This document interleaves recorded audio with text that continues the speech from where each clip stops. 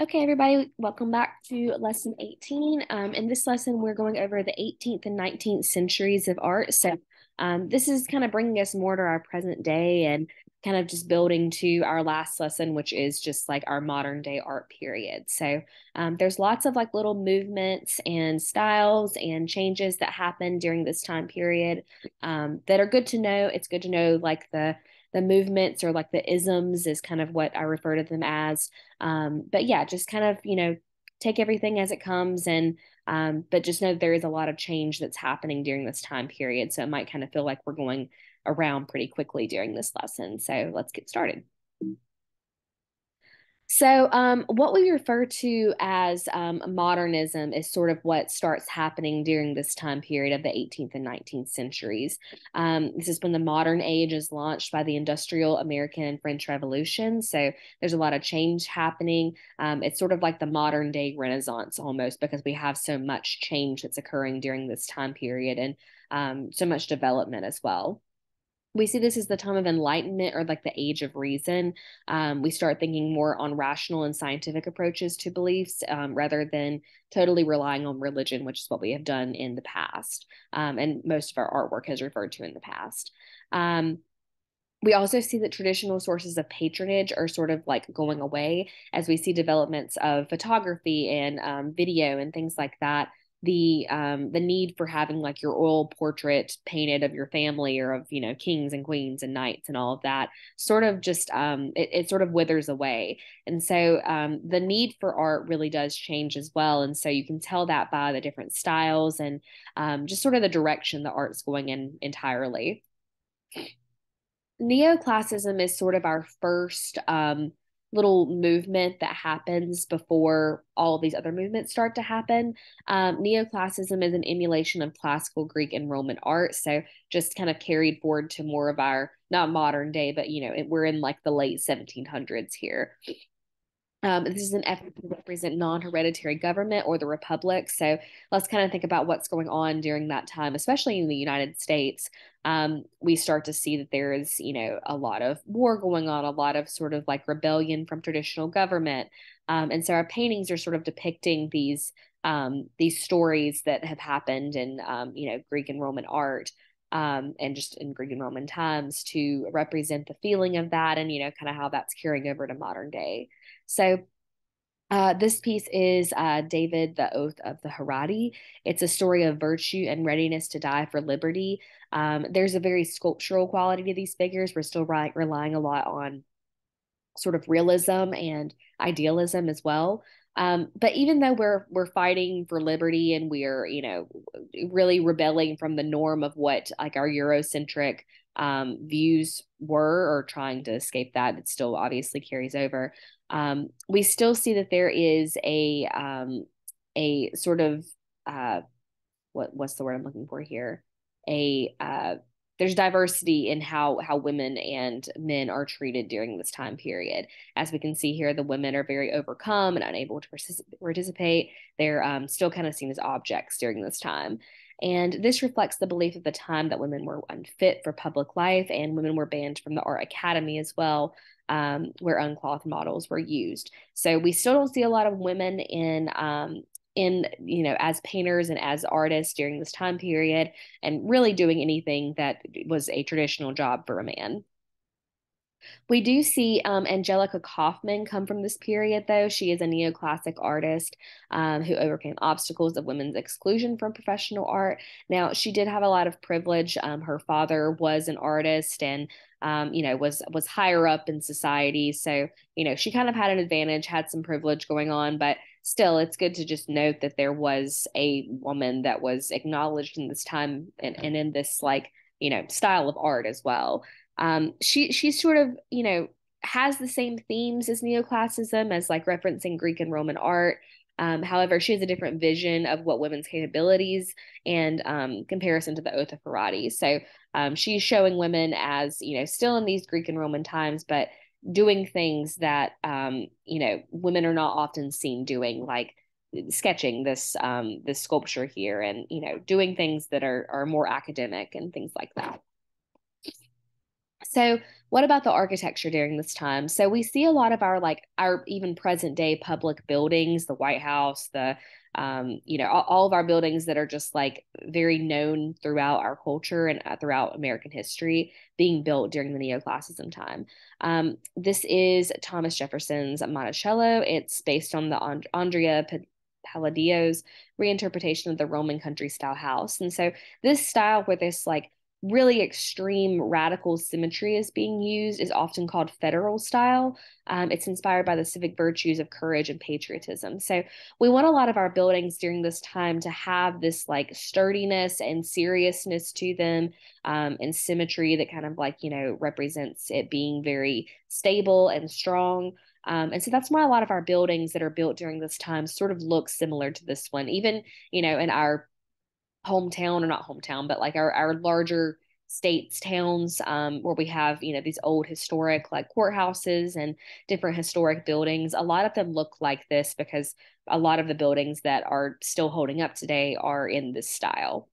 Um, neoclassical architecture found its way into almost every U.S. city, like it said, like I said.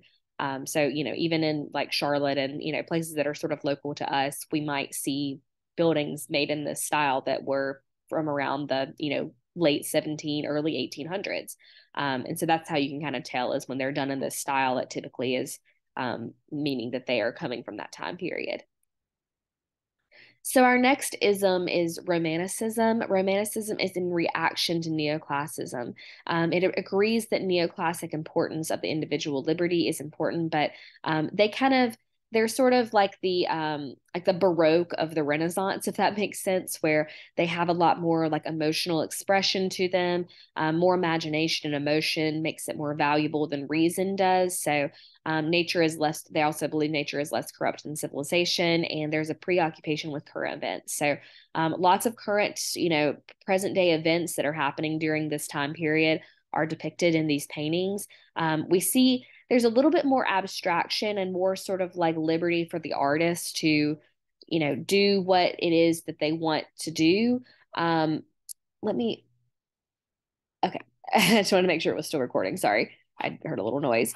Um but yeah, it's it's really just kind of like focusing in on um, the emotion and the drama of these different events that are happening to sort of get a reaction out of people, honestly. So in this piece here, Francisco Goya is is a really like predominant name in Romanticism. Um, they experienced the horrors of Napoleon's occupation.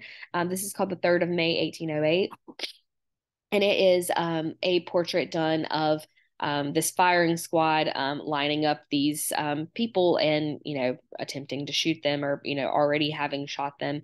But it's very dramatic very gruesome. Um, i think an interesting detail here is that um, it depicts the firing squad um, executing the suspects but they you never see the faces of them so it sort of dehumanizes the firing squad in a way. Um, while you all you get to see the faces of the suspects and you know sort of this pure raw emotion. Um, there is uh, protests going on against the tyrannical governments during this time period. So, um, you know, this kind of like dramatization of um, and theatrics of of these events is really important to sort of like you know strum up morale and um, you know get people excited about um, or passionate about this these events. Um, another romantic artist is J.M.W. Turner. Um, this is the burning of the Houses of Lords and Commons, and this captures a disastrous fire that happened in Parliament from only months before um, it was painted. And you see that there's a very loose and expressive brushwork being used here to introduce like more distortions and exaggerations and traits of traditionally abstract artwork. Um, but there is exaggeration happening here. Like the flames, for example, don't go as high as they they seem like they're being depicted in this piece. Um, Turner also straightened the river to achieve a wide horizon line, so it looks like it goes a lot farther. And um, again, emphasizing the feeling rather than actual geography. Um, we also see during Romanticism the American landscape painting kind of come to be.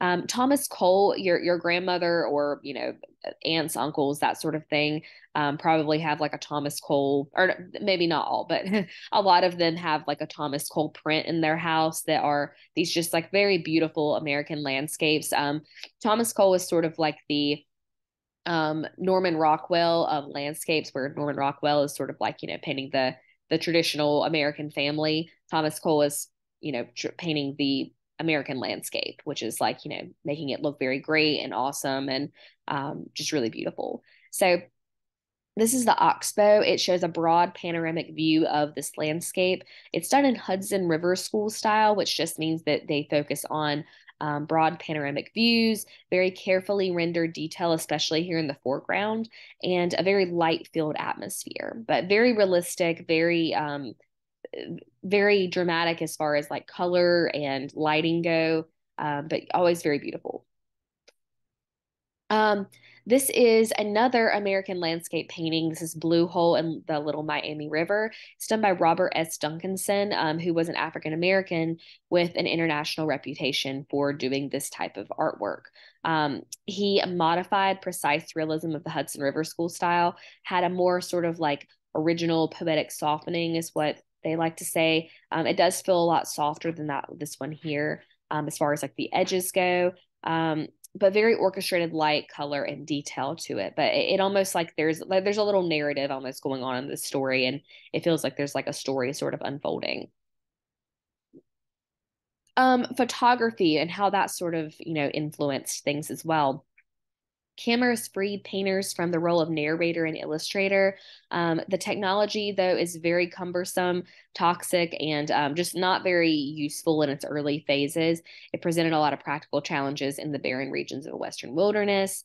Um, but we do see some photographs taken during the you know the late 1800s 1871 is when timothy o'sullivan creates the um, or takes the iceberg canyon it's very stock austere and well crafted and the sitter is perfectly positioned on the rocks that you see here. So this is actually a really, really um, impressive photo to have been taken during this time period because one thing that you may or may not know about photography in its early stages is that it takes a very, very, very long time to develop. So um, this could have been going on over the course of like hours, honestly, to take this photograph and for there not to be any blurring or anything. Um, realism, which we've talked about realism before, but as far as like a a um an ism, I guess, in this little um, you know, uh group of of isms. Um, we see it as being the academic art form, um, tradition minded works that follow formulas laid down by an ac- acad- academy or a school. Um, the French Academy's salon is is the one that sort of really takes realism and, and goes with it and kind of you know creates it as being the norm for for artwork. Um, the French Academy Salon is an annual exhibition in the 19th century, and only way that an artist might become known in those days is by having their work accepted to the French Academy Salon. Um, but yeah, realism is just um, it, it's we'll we'll get into it in the next slide. um, realism oftentimes depicts ordinary um, life without idealism and exoticism or nostalgia. Um, it's a reaction to both neoclassicism and romanticism. Um, but it, yeah, it's essentially just wanting to highlight um, very average, ordinary scenes in in our life and not try to over, you know, dramatize it or anything like that. This is Gustave Courbet. Um, it's the Stonebreakers. It's just showing these ordinary road workers. There's no dramatization of the struggle. It's just showing it is what it is essentially, but it's not trying to make it seem like we should feel sorry for these people or that they have a really hard job. It's just painting what it is. Um, there's a lot of accusations towards Courbet. Uh, there is a, idea that he is raising a cult of ugliness.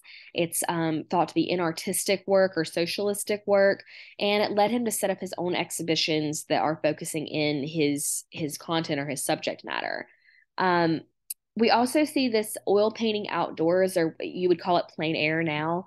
Um, it's first done by Courbet. It's made possible by portable paint tubes, which um, is you know hard to think about, but uh, at one point in time, you had to mix your own pigments and binders together. Just you know, as you're creating your your paintings, it wasn't like you had a paint tube that you could go out to Michael's and buy. Um, but yeah, this this um, plein air is um, is the ability to capture first impressions and to make something feel like you're you're there and you're experiencing it in person and it's not like a, a memory or an idea of something. Um, but yeah so we could say we could say this was this was one of those two. It's he's painting this as especially the landscape as it's unfolding Um, Rosa Bonheur is another realist painter. This is the Horse Fair, is what she titles this work. Um, she specialized in royal scenes um, that specifically dealt with animals, and um, ha- usually has a lot of motion and sort of energy surging throughout her pieces. Um, but this is another one of those realist works where it's it's highlighting more sort of contemporary life and an average person's you know world. Um, and then we have Edward Manet, who not Monet, but um, Manet, and uh, he is a predecessor of Impressionism. He combined flattened painting in the Japanese style with Courbet's realism, and there's an interest in visuals over content here.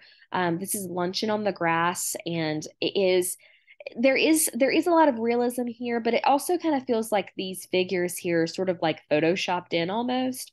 Um, and that's definitely a sign of impressionism as sort of um, you know, getting the impression of something, not necessarily having something painted exactly how it's supposed to be, but more so trying to capture a moment or a feeling. Um, but yeah, it, it does kind of feel like this is a little puzzle piece together. And I think this is where Impressionism, which we'll talk about a lot later on, um, really, really kind of feeds into the art world and, and becomes really prominent. So sorry, I thought that was going to be on the next slide, but um, or the next PowerPoint. But Impressionism, this group formed after the denial of the 1873 Salon, the the same um, French salon that we talked about earlier, and they um, they organized their own independent exhibition. So um, impressions really just means impressions what the eye actually sees rather than what the mind interprets. Um, I used to have a video linked here, but I, I may or may not include that. So um, you know if it's there in the Edpuzzle folder, watch it. But if not, don't worry about it. Um, this is a painting by a pa- painting by um, Claude Monet, not Manet. Um, and it is La Gare Saint Lazare. Um, it's the Saint Lazare station. It's just a train station, kind of like you know um, shelter here, and it focuses on the play of light amid the stream of the locomotive. So um, again, you know, this might not be exactly how you would see in real life this smoke sort of like emitting from the train, but he's wanting to capture the feeling and like almost the texture that it maybe feels like kind of more thick, more um, like you know just harder harder air than the rest of the air that's happening around it. So um, this is definitely done in impressionistic style. It's it's sort of just the idea of something rather than painting it exactly how it looks. Um, the Impressionist, the term arose from Monet's versions of Impressions Sunrise, which is this piece here.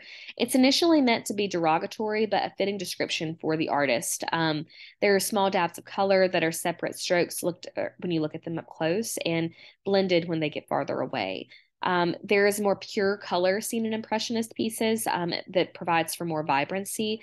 And um, they're also optimistic about the new technologies within the art world. Um, I think one thing to note here is that impressionists they want to give you the feeling of something or how something makes them feel. So this sharp contrast between this orange sun and like this sort of misty blue that goes all around it really it lets you know that monet has a full understanding of color theory um, how complementary colors work next to one another and how you know having blue next to orange can make the orange really really pop having this like impasto technique to show where there's areas that feel more thick and more um, you know that stand out more than the rest of the spaces. But yeah this is a really really beautiful work. And although it's not done in a realistic style um, this artist has a full understanding of um, the elements and principles of design color theory their their medium of paint and it's it's very impressive. So it, it also sort of falls into that rule of like you know you have to know the rules to break the rules and i think that monet is doing a great job of doing that here. Some more impressionist paintings. Um, i'm just going to kind of run through these quickly. This is a piece by um, oh gosh who is it by? Renoir. And um, Renoir is another impressionist painter. This is just um, this is Les Moulins de la Galette, um, which is essentially just a like square, I guess, or like a, a party kind of happening in, out in the open. And the impressionist qualities is how this light is flickering through onto the figures um, and showing in like this very like gold sort of like yellowish color. And then we have sharp contrast between the shadows that are this more blue value um, or bl- blue hue rather than the yellow hue. So a lot of good contrast is happening to achieve this look of like the light flickering in. And that's what they're wanting to capture and, you know, show in this moment is um, is that light flickering. Um, Mary Cassatt is another American Impressionist. She is a Philadelphia born artist who befriended Manet and Degas, who were two impressionists in Paris. And she exhibited with the impressionist groups um, over four times. So her specialty became painting modern women in their own situations. So kind of like Angelica Kauffman in a way, she's she's painting women just in ordinary life setting um, and, and, just trying to capture them. Um, you know, existing and doing what what they do in their daily life, not trying to dramatize it or anything, but just capturing them in their everyday life. Um, this is the boating party, and it has a, a very strong connection to um, Japanese prints in a way.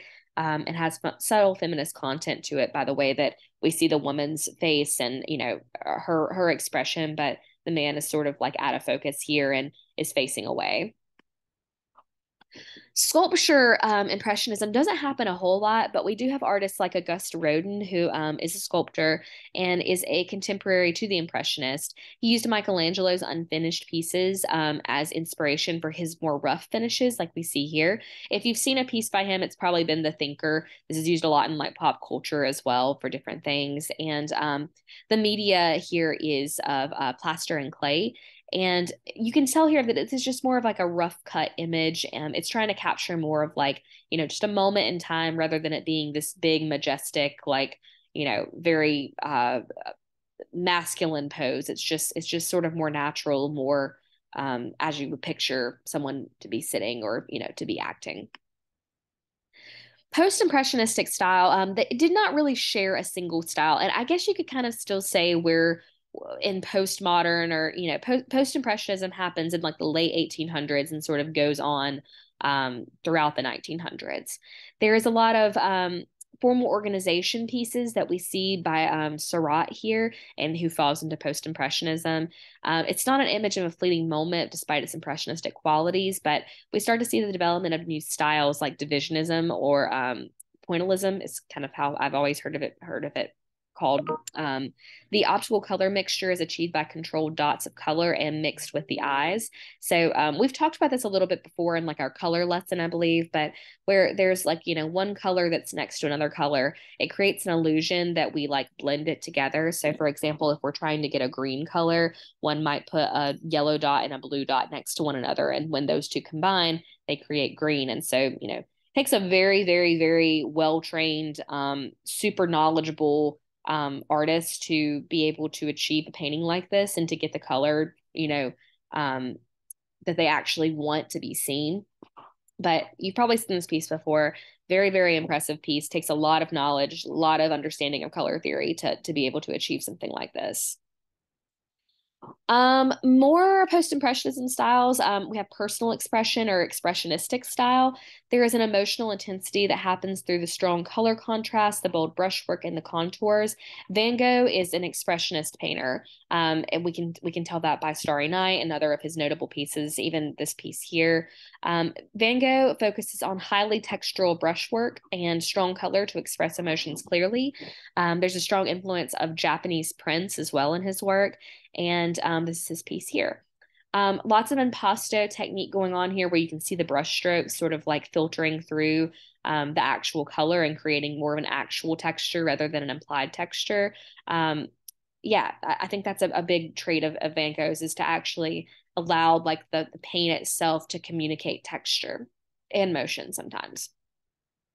Another piece of his, this is the Sower. Um, we have bold, simplified shapes going on, um, flat areas of color being put down, and there's a strength of the tree trunk that balances out the sun. But you can see that really, really thick application of paint here. Creates a lot of new color too.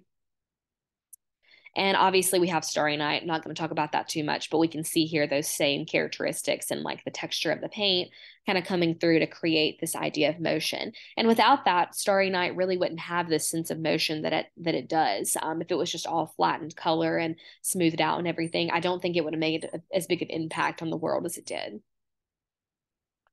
Um, more personal expressionism. This is not in the style of, of um, Van Gogh, but this is um, Henri de Toulouse-Lautrec at the Moulin Rouge.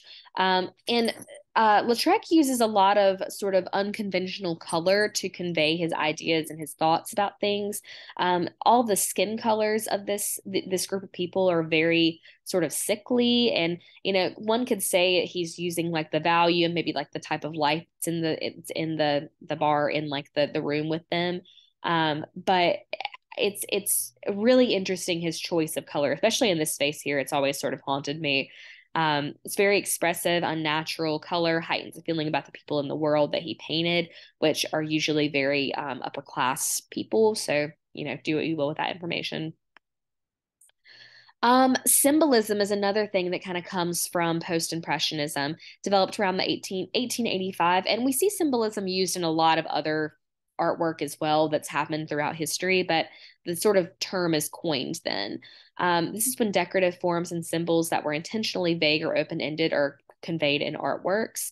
Um, Edvard Munch, who painted The Scream, which I'm sure you've all seen, um, it carried symbolism to expressive intensity. Um, the dominant figure here is caught in isolation, fear, and loneliness. Um, and and we don't really know why they're screaming, like what the what the situation is. The color is very intense. The figures in the background approaching are lead us to think that they might have something to do with the scream. Um, some people have theorized that the sky is on fire here and it's not just a sunset. Lots of theories here, but it's very open ended and, and open for interpretation. Now, um, post Impressionism architecture, we see this movement of Art Nouveau or new art of architecture and interior design. Um, it brought nature into art in new ways and into architecture. Um, Hector Guimard, who is an architect and a designer as well, designed the Castel Béranger, which is the first Parisian Art Nouveau house. Um, he designed the exterior wallpapers, door handles, carpet, light fixture, but he didn't actually design the actual building itself. He was more of what I guess you would call now like an interior decorator or interior designer. Um, the lobby strongly exploits the motif of organic growth throughout the different railing and different like metal work that we see throughout here. It's really beautiful, um, very organic, and sort of mimics like an abstracted plant form.